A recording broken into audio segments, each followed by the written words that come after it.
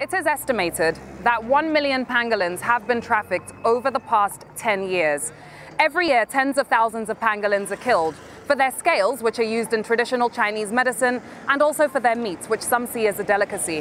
For years, the poaching of pangolins was centered in Asia until pangolins became listed as critically endangered species and the illegal trade of pangolins between Africa and Asia began.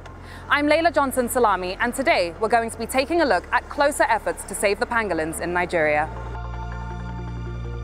The first stop today is Greenfingers Wildlife Conservation Initiative in Sangotedo, Lagos State. The organization has a sanctuary for pangolins and other wildlife animals. I've come to meet the founder, Chinedu Mogbo, to find out more about the poaching of pangolins. So here we do have quite a different number, about 50 different animal species here, um, which also includes the pangolins. Um, now all these animals actually have been rescued from the um, wildlife trade, um, wet markets, um, wildlife markets, traditional markets. Animals are used everywhere, and these pangolins especially, you find them everywhere as food, as traditional medicine, and sometimes even in the international wildlife um, trade. Nigerian animals are almost out if we, if we don't wake up to do something about it. So what we've actually discovered um, in time that is that this these pangolins now have become very, very relevant for, for the international trade. We've been to the market, we saw the pangolin actually being scaled, there, as in descaled, where they put them in boiling water and um, use a knife and just basically cut off their, um, the scales of them. And they keep the scales for these um, international um, marketers. There are eight pangolin species in the world, four in Asia and four in Africa. All four in Asia are listed as critically endangered, and all four in Africa are listed as either endangered or vulnerable, both by the International Union Conservation of Nature. Chinedu and I decided to head to Oluwo Fish Market, a wet market where several wildlife animals, including pangolins, are sold. Unfortunately, we were stopped from filming inside Oluwo Fish Market, so we had to use a hidden pocket camera for this part of the report. So Chinedu and I are now outside the Oluwo Fish Market, a wet market selling animals both dead and alive.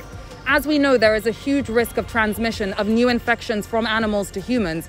In fact, researchers in Guangzhou, China, and scientists as well found 99% of similarities in viruses isolated from pangolins and COVID 19. Well, the plan today is to head in and see if there are any pangolins that we can rescue. Although there was no formal confirmation on this study, the World Health Organization recently released its long anticipated report on the origins of COVID 19. The report concluded that it was very likely that the virus was introduced from bats to humans through an intermediate host, and pangolins were listed as a possible host.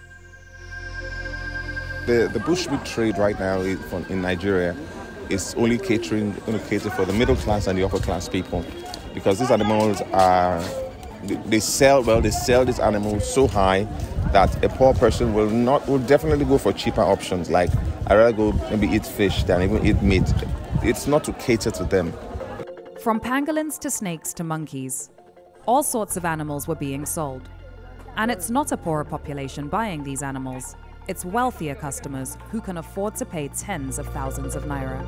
Every week i sell more than 30 pieces. More than 30 pieces? Yeah.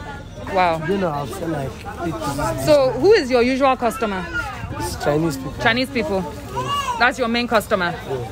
So now, how much are you going to sell all these pangolins to me for today? This one, forty thousand. Forty thousand. Ah! Yes. Are you aware that most of these pangolins, as they are buying them from you, they are sending them to Asia? I don't know. Mm. But I wanted to also ask you, are you also aware this same pangolin that we keep on hunting, you know that very, very soon it's not going to exist anymore. No, it's down, it's not. The sellers aren't the bad people here. They see this as an opportunity to feed their families and genuinely do not understand what could possibly be wrong. Unfortunately, without the enforcement of laws against the illegal trade, sellers will continue to sell. I just bought three pangolins to save them from the trade, we decided to take the pangolins to St. Mark's Animal Hospital for treatment, where Dr. Mark works around the clock to rescue and shelter animals. Hello. Lovely to meet you. Good How are you doing? Okay. How are you? What do we have? Oh my goodness. We brought you some pangolins, Pangolins, that yeah. we um, rescued from the trade I today. don't- wait, I recognize the sack because Yeah. this is how they are transported. This is how they get to the bushmeat, the wet market, and this is how they moved around. Now, this is very stressful for the animal. Apart from the limited air and all that, this is they're not, not used breathable. to it. Yes, they're not used to it, and then it's a whole strange world. So the animal here now is already very stressed oh, when you receive them. So what we do is when we get them, we evaluate their state of health. There are some that we would have to. The ones that we see that are in good body condition, alert and everything, we release almost immediately. But if they are not, we would have to take them in and rehabilitate them before we make our release. So I'm going to sedate him now and then take my parameters. Unfortunately, the three pangolins were quite traumatized and needed time to recover. However, Dr. Mark did have a pangolin who was fully treated and ready for rehabilitation in Lufasi Park, where he recently set up a pangolin rehabilitation center in collaboration with the park. we don't have data for what's going on in Nigeria. So we can't even tell that, okay, this is what is left, this is the rate at which it is going. But I can assure you the rate at which these animals are being removed from nature is alarming. We need to do something, we need to all come out and play our different roles to ensure that these animals don't go extinct in our time. what we're doing to nature, we're already seeing the reaction. 2020 was not a normal year at all. At all. We're already seeing nature reacting to humanity's brigandage against her, acts of terrorism against her, wiping out species like the pangolin, pushing species into extinction. And the reality is there has to be a reaction. Unfortunately, we're not really seeing that reality. We're And not this is scary. listening. We're not listening.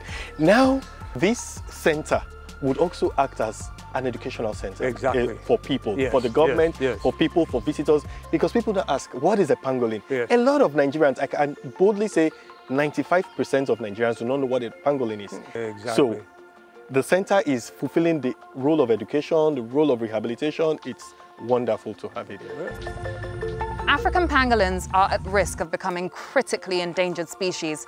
And if the illegal trade isn't stopped, they will be poached to extinction. Luckily, efforts to save the pangolins do exist as we've seen today, but it's so hard to keep up with the trade on such a large scale. Well, we've got a little juvenile here today that's ready to be released back into nature. Hi, Dr. Mark. Hello. So we are going to do just that. Hey.